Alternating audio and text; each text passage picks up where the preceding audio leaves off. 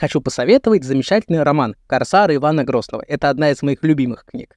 В центре повествования Карстен Рода, датчанин, получивший в 1570 году каперский патент от Ивана Грозного и успешно действовавший в Балтийском море. Автор очень внимателен к деталям, и, на мой взгляд, эта книга является прекрасным погружением в XVI век. Подробно рассматривается внешняя и внутренняя политика Ивана Грозного, в том числе и опричнина. Много внимания уделяется окружающим странам, Крымскому ханству, Польше, Швеции, и мы можем понять а, ту ситуацию, в которой вообще оказалась Россия в то время. Автор знакомит нас с множеством реально существовавших деятелей. И вообще, на мой взгляд, это один из лучших романов по этой эпохе.